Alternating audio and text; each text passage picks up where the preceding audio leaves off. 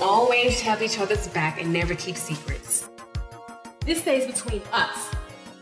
Shala never finds out. I don't need anything, especially from you. I can't lose another sister. Shala has always been there for me. This conversation isn't over. I'm gonna give some time to cool off. Will you do me the honor of becoming Mrs. Dodger? So, what are you afraid of?